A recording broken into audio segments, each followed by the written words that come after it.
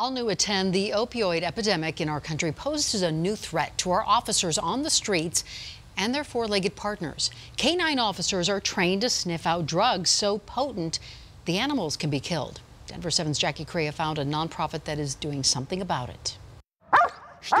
They're trained to go after the bad guys.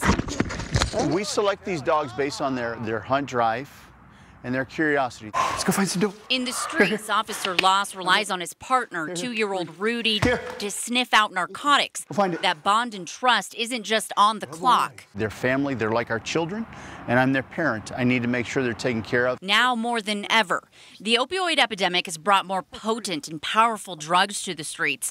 Drugs like fentanyl and carfentanil, an elephant tranquilizer that can both be inhaled. But across the nation, there have been several dogs that have died from the exposure. The boys. Ah, he's a good looking kid. nice. So, Dr. Pratt with Wheat Ridge Animal Hospital and Officer Loss are working on a plan to train all canine handlers to know the signs. sleepiness, all the way to almost a comatose type of state where they're not responsive to any vocal commands. and use the tools like Narcan, a drug that reverses an overdose, and an ambu bag to help the canine breathe. I know, you got them. Anything to help save their partners' lives. My whole mentality is to make sure it's safe for the dog to go to work, and then we do that.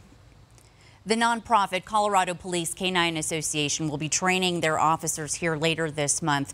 And by the way, when these dogs retire, it's up to the handlers to care for them. So if you want to help out or if you want any more information, check out my story online at thedenverchannel.com. In the studio, Jackie Correia, Denver 7.